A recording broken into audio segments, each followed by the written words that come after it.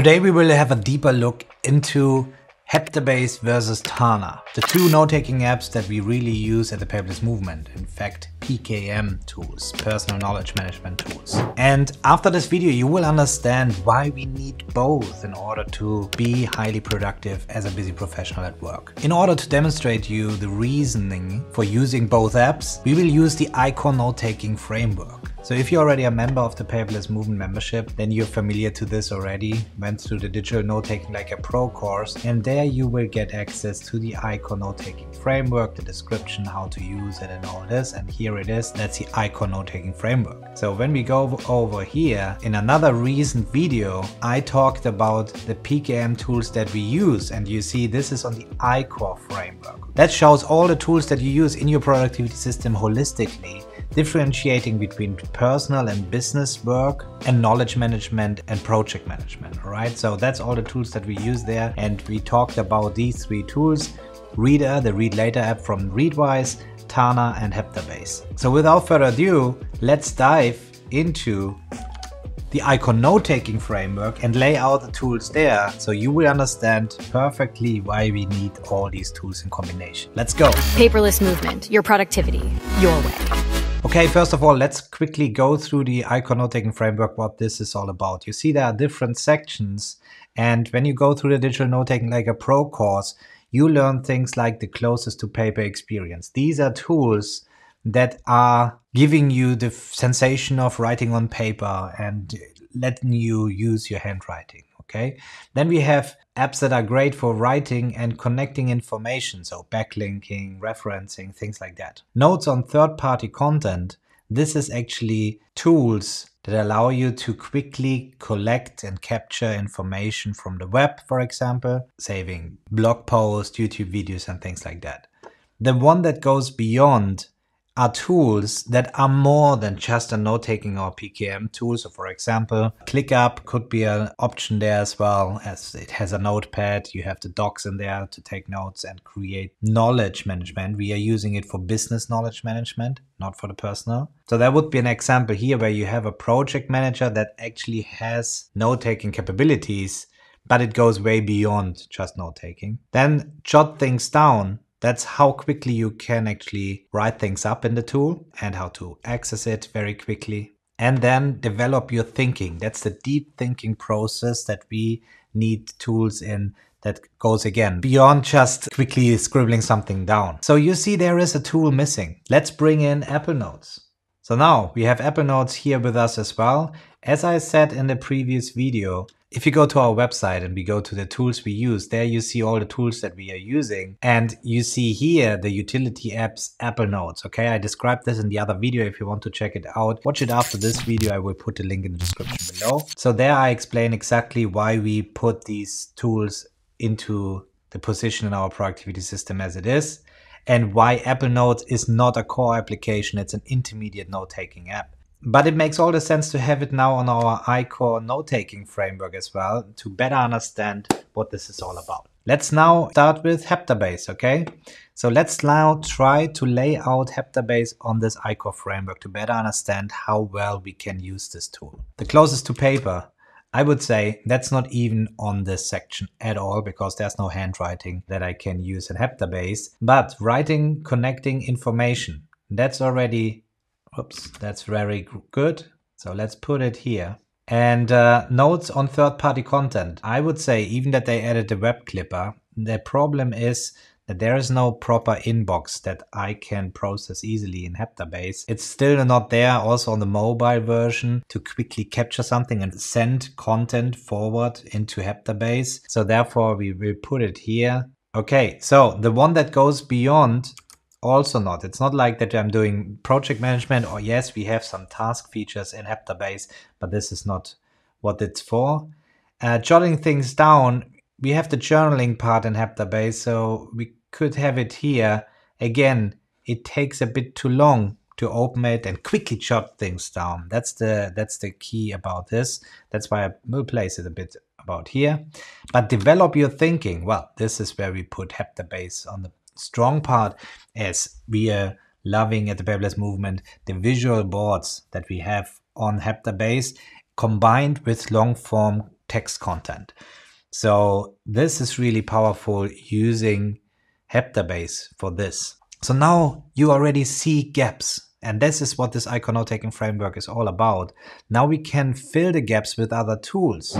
So yes, of course, you can use one tool for everything, but we strongly believe, and we put it to the test with so many other tools, there's always something that a tool is not specialized in. And that makes it then not the solution for the whole map here. So let's say you're into handwriting and you prefer to do handwriting during your meetings and things like that, that's where, for example, Apple Notes or Notability or Good Notes or Remarkable or piece of paper comes into play that you can place here. So the cl closest to paper experience for me is then here and therefore obviously as a standalone tool in this setup is Apple Notes as none of the others will ever appear there. But Apple Notes, writing, connecting information. Well, writing I can write long form, but it's not so good in exporting the things and using the content further. That's where I think we can still place it here. Notes on third party content. That's where I would say it's a bit stronger as it's easy to share content into Apple Notes. Also, the search functionality. I can search images and things like that. So that's something very useful. The thing is, I'm not using it for this purpose as it's not a proper personal knowledge management system. Yes, you can have tags and folders and try to organize the things, but when it comes to leveraging the databases, then Apple Notes is still not there. Then the one that goes beyond, well, that's not there. Jot things down, boom, very uh, powerful. Obviously, I can use my iPad, I tap on there, and boom, I can start writing and jot things down. There's nothing faster except a piece of paper or maybe the remarkable in order to write things down very quickly. So therefore, it we place it here. Develop thinking. I would say we can place it here as well because that's again by drawing things with a pencil, you get a different sensation of your thought process and so on. So sometimes I'm using Apple Notes to scribble down some maps or something that I also doing woodworking, for example. So I'm using Apple Notes a lot for that. And now with the new calculator feature that is coming to Apple Notes, it becomes even stronger in this, but it's not really the deep thinking uh, process where you develop a thought over time and things like that. That's where Heptabase is very powerful. Well, now you see already we filled the gaps. It, uh, the ultimate goal would be that we have on the outside ring a tool for everything. Okay, now let's go in with Tana. All right, Tana is obviously not close to paper at all, but it allows me to connect information very powerful. So now we have two tools on the outer ring and there is where it becomes important then crystal clear to define what information to place in what tool. That's where it's important to watch one of the other videos. I put a link in the description below where we differentiate between deep thinking and shallow thinking and what information. For example meeting notes. I put into tana versus uh, my key elements and the things that I do self improvement in and things like that, that that are evolving maps I do in Heptabase. To me, it's crystal clear whenever some information comes at me to what tool to go to in order to store it. So now notes on third party content. Well, it's not so powerful when it comes to that. Yes, we can embed some YouTube videos. Well, I have a database where I collect videos and video ideas and I will put it in here. Okay, it's definitely stronger in my opinion than uh, Heptabase when it comes to capturing this information as well. So that's why I put it there. Jotting things down, I would say it's in the midfield as obviously can jot things down very quickly. Let's put it then in the outer ring actually. And again, it's a different purpose. Audio capturing, for example, meeting notes, other things that are very quickly to be done. So you here you really have to think about the friction, okay? How long does it take to open up the app until I'm able to jot things down. As I showed with Apple Notes, it's just a tap on the iPad and I can start writing. While in Tana, I can very quickly open up the Tana Capture and start do audio recording or share things directly in Tana. The powerful thing in Tana is then I have an inbox there, so I'm safe and sound when I go through my routine the next day.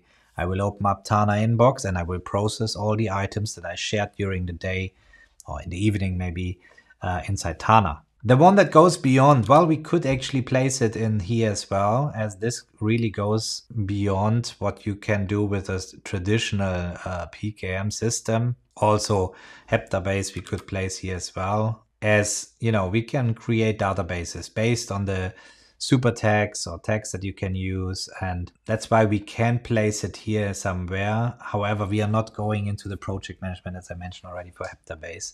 Therefore, let's bring in ClickUp as this is the tool that we use for BKM, Business Knowledge Management. Well, and this obviously goes far beyond. So now you see the outer ring is covered here, here, here. So for each place, we have now a tool. Develop your thinking I will put Tana about here so I get a better idea. And let's put this a bit down. So now in Tana, it's very powerful to develop your thinking when you start something. So it's an outline, okay? So whenever you have to create an outline, it's so quickly to move things up and down and rearrange the structure of your thought process. It's really fast. But then there's a moment where you then realize it's hitting the ceiling. I cannot further develop my thoughts in Tana, either due to restriction when it comes to formatting, as Tana is just an outliner, so there's no proper long form text formatting, or when you need to think horizontally and not just vertically in a sequential order. So therefore you have to have a whiteboard. And that's when things move into Heptabase. People ask us, but how do you do this then? Do you duplicate all the information from Tana to Heptabase? No. That's the beauty about digital tools nowadays that each individual block actually or node inside Tana has a URL and I can use this link and place it in Heptabase as a reference and start from this point forward. Okay, so I can always with one click go into the Tana and the other way around in Tana I can place the link that goes to the Heptabase deep thinking part and then it's connected there. There's no need for duplication. So that also keeps your deep thinking system clean with just refined information versus the shallow thinking system. So now we have all the outers except the nodes on third-party content. And this is the moment the Later app comes into play because there's nothing more powerful than using a read Later app to quickly capture the FOMO information, the fear of missing out, that you saw something that sparks your interest and that you have the feeling that you have to save somewhere, but you don't know and you're scared that you won't find it later on again. That's where we have the shallow, shallow thinking system, if you like, which is Reader. This is where I quickly can store my information. I can read blog post in a distraction free environment. So there's no advertising interrupting me, things like that. I can then highlight. I can then even synchronize the highlights back to Tana and Heptabase. Therefore, I get access to the essence that I got out of reading this the YouTube videos, you see the full transcription. You can click into the transcription. It jumps to the different places in your YouTube video. So that's really amazing. And that's why there's no doubt that this is the tool that we use for notes on third party content. And it is necessary. As you now see by this framework, it was necessary. Otherwise, there's something missing. Okay. And I don't want to move all the things into Tana. This being said, obviously you could now decide and say, I force the things, I only will use Heptabase, for example, but you are at least aware of the limitations of the tools that you consider are limitations. And then it makes it so much easier to go out there and try to find something that fills the gaps. That's what the ICO methodology is all about. It's not about telling you what are the best tools because it would be stupid telling you this without knowing your specific setup, that's something that we help our inner circle members with, where we have live coaching sessions, where we look at the tool stack and then we give recommendations how to optimize the tool stack. Usually it's just the tools being needing a new structure in order to work better in a whole productivity system context. But it's about you finding and going out there and searching for tools that close the gaps in your system. So now you see in combination with the ICOR framework, you get a even deeper view on your note taking. And if you really want to master this, I invite you to join the Paperless Movement membership and go through the ICOR journey where we have two courses in the digital note taking like a pro and the personal knowledge management like a pro course that are both helping you to master this, then moving information into action. And that's what the ICOR methodology is all about. That we are not only about knowledge workers and collecting information, but we always move information into action. And that's the key. And if you really want to figure out how healthy your productivity system is right now, we have a free productivity quiz on our website. So feel free to take the quiz to see what's the status of your setup and get the recommendations how you can further improve it. So if you liked the video, give it a thumbs up, share it with your friends. And if you haven't already, subscribe to this channel so I can catch you up next time.